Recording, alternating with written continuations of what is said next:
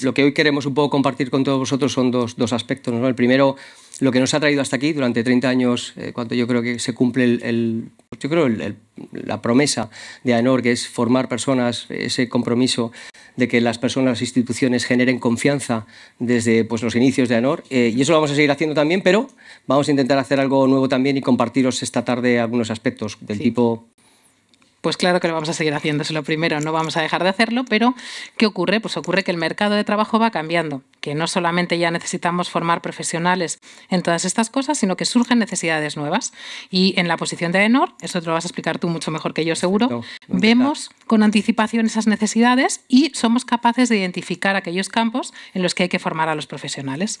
Sí, yo, creo básicamente también un poco lo que vamos a intentar compartir con vosotros es que lo que las empresas nos comparten todos los días, estudiantes y bueno, un poco la sociedad es que hasta ahora la calidad eh, y algo que vamos a seguir haciendo ha sido un atributo no solamente de la sociedad española, sino de todas las empresas, eh, y que esa formación se ha dado en esos aspectos. ¿no? Siempre hemos hablado de, normas sobre las que nos estamos preparando, pero las empresas nos empiezan a decir ahora que necesitamos formar a los profesionales del futuro en profesiones nuevas en cosas que tengan que ver más con valores, eh, que tengan que ver con valores, por supuesto, de sostenibilidad, pero valores de buen gobierno en las empresas. ¿no? Yo creo un poco estamos ante algo que pareció hace 15, 20 años cuando decíamos que iba a haber un community manager, que difícilmente pronunciábamos, y ahora no hay ninguna empresa sin community manager. ¿no? Lo que nos están diciendo las empresas ahora es cómo va a haber un técnico en, igualdad, que las empresas sea capaz de, de transformar la empresa lo que estamos viendo también es que los objetivos que marcan el consumidor a nuestras empresas son distintos. Están pidiendo la formación no solamente en calidad, sino en excelencia. Y excelencia no entendida por una calidad superior,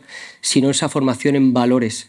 Y eso es lo que estamos haciendo, diseñar esas profesiones que serán profesiones de futuro o el futuro de la formación, junto con, bueno, pues con, un cumpleaños, ¿no? Que vamos a celebrar aquí. Claro que sí.